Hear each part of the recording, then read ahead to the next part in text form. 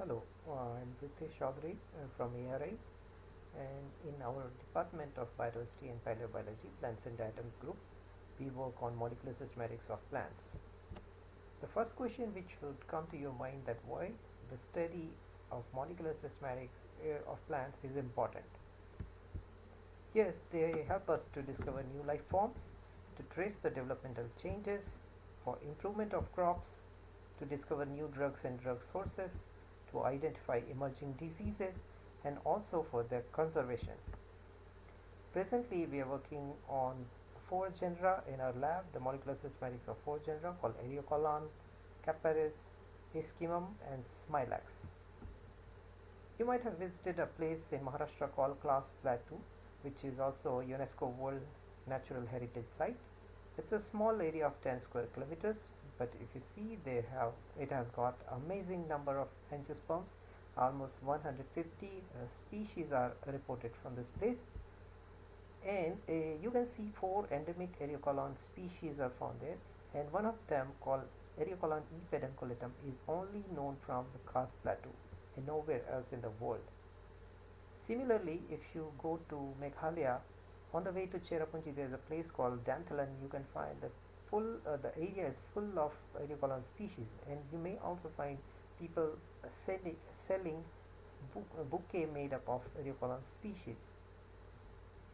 In the world, they are known by 400 species. In India, we have more than 100 species of it, and in Western Ghats and Eastern Himalaya, they are represented uh, in 60-40 ratio. They have got also amazing bioprospecting potential. Many of the species are known to possess neuroprotective activities and also they are used as a remedy for headache, toothache, sinusitis and eye diseases. One of the species called Eriocaulon buergerianum is used in a Chinese herbal formula which is used to treat headache and eye diseases. But if you want to identify these tiny species, really difficult job. You can see three different species on a herbarium sheet here and how difficult you can guess it could be to identify them. If you want to identify them, you have to check for the characters of involucral bracts, floral bracts, male flowers, female flowers, and also these tiny seeds. But this is not enough. You have to observe them under light microscope and scanning electron microscope. Not only this, you have to see the characters of the appendages which are found on the seed, then only you can confirm the identity of the species.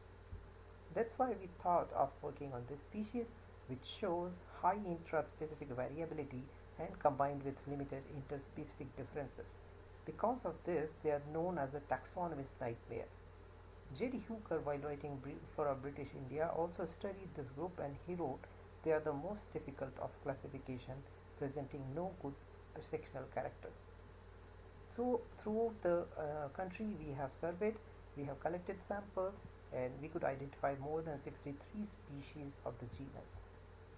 And very critically, we have examined them uh, through the, uh, through microscopy, scanning electron microscopy.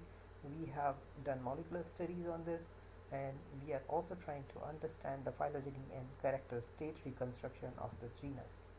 During this time, we have also discovered two new species and named them as Eriocaulon parvicephalum and Eriocaulon karaavalense. Not only this, uh, we have done whole chloroplast genome sequencing of one of the species which helped us to understand evolution in the whole order called Poales uh, using this particular uh, species and for this work uh, uh the student Dr. Ashwini Darshetkar uh, received the Young Scientist Award from Indian Association for Angiosperm Taxonomy in 2019. Another genus on which we are working called Capparis and here uh, if you see this genus has again uh, uh, got a lot of medicinal value one of the most important medicine called Liv 52 is also um, uh, if you see the composition you can find that uh, a major ingredient of this uh, medicine is Capparis spinosa and there are so many other species which has got similar potential. In India they are distributed like this. In the peninsular India and northeastern corner of the country. But we have also found several research gaps like there were no molecular studies in the Indian subcontinent. Nobody tried to study morphological evolution and uh, their ecological diversification. And also the systematic relationship between different Capparis species were unknown. So we uh, collected uh, samples from all over the country and uh, during this period we could also publish a book on the genus called the genus Capparis in India. We are also trying to understand the biogeography of the genus using molecular and fossil data. Not only this, we are trying to develop DNA barcodes of a rare endemic and economically useful Capparis species in India using both uh, chloroplast genome and also the uh, following the loci based approach which uses uh, some particular markers from uh, both uh, nuclear uh, nucleus and chloroplast organelle. Uh, we are also working on another genus uh, commonly known as Muraina grass in India in collaboration with Dr. Datta. And in the last two years we have published uh, some new species of the genus. And presently we are focusing on another medicinally important plant called Sarsaparilla botanically known as Smilax in India. And we are also trying to develop super bar barcodes of these species trying to understand their diversification using phylogenetic tools.